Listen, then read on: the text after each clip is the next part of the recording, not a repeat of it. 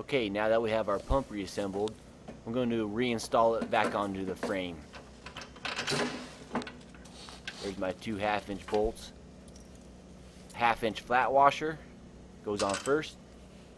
Half inch lock washer following that.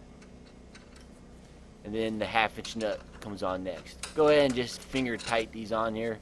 Don't want to use the wrenches yet. We're just going to snug them up here on the frame.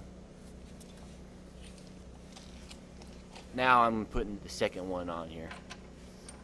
Repeat the same process.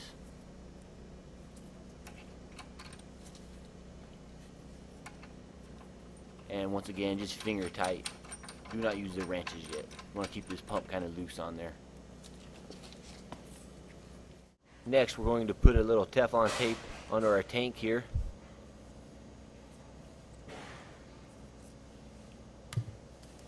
And I'm to screw it right back into the pump here. Going clockwise.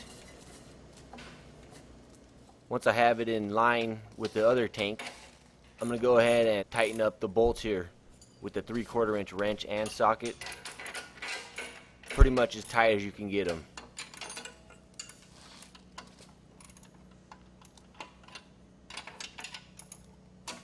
Now I'm going to reinstall the hose back onto the pump elbow here using that 11 16 wrench.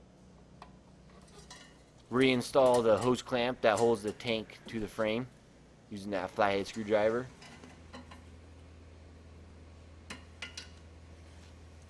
And I'm going to go ahead and put the chain back on. Making sure that all my sprockets are in line with each other. Go ahead and get the chain on there and simply push up on the tensioner and uh, snug it up with that 15 16 wrench. Want about a half inch of play here in the chain. Reinstall the sheet metal here using the wing bolts.